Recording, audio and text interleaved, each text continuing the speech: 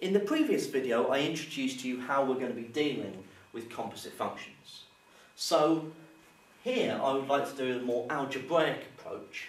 So if I was looking for f g of x, what this means is that I'm putting g of x into f of x.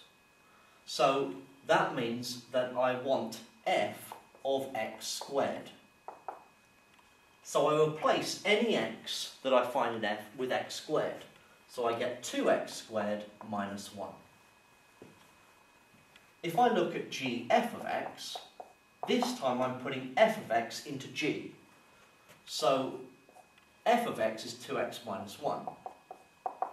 So this would be 2x minus 1 all squared, replacing that x with 2x minus 1. If I want ff of x, or f2x, then this is 2x minus 1 going into 2x minus 1. So this is two lots of 2x minus 1, take away 1. So that gets me 4x minus 2, take away 1, so minus 3. And then gg of x, don't know quite what that was, uh, would be x squared going into x squared. So x squared squared, which is x to the 4. Okay? So this is how um, we can deal with this algebraically.